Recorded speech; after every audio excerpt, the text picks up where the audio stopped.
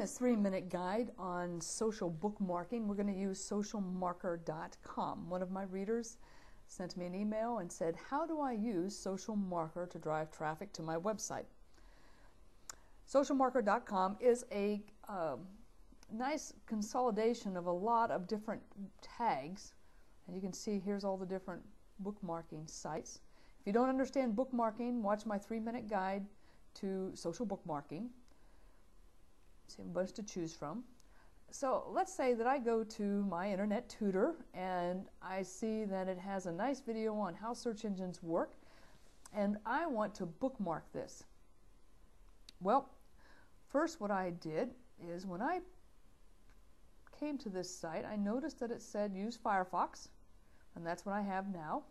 Then it has this nice little icon that I can bring up to my toolbar. So I just bring this up, and then when I get to a spot, I can drop it into my toolbar. And if I just pull this down, you can see I have it right there.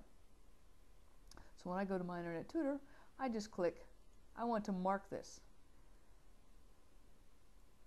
So it brings up social marker, and look what it does it pre-populates these two pieces. It takes the title from my title tag, it takes the link of my website. Now it asks me to enter some text.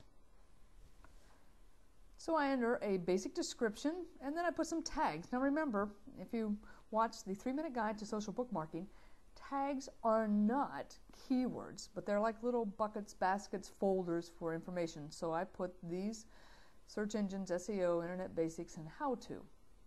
Now, if I click to submit this, I'm going to do all these sites, and for sake of time, I am just going to do, pick, I'll pick five.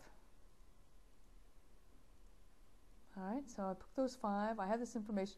I go clear up here, and now I click submit.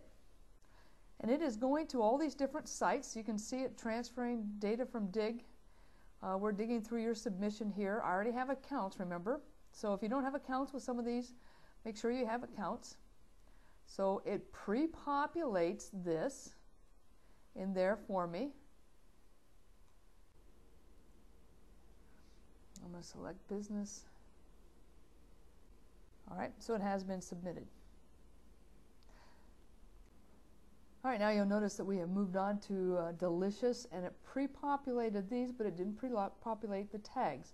Well, this is where this is pretty cool. If I go up here and look below, the tags are all below, so I'm just going to copy, paste, have it in there. So now I want to save this.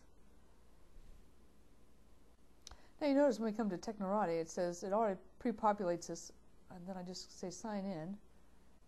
So I say that that's been added to my favorites, and I say OK. All right, that's your three-minute guide to socialmarker.com. Easy tool to use, helpful tool to use. It does get hung up, so don't worry about it. I would not select all the sites at once just because of the way it gets hung up.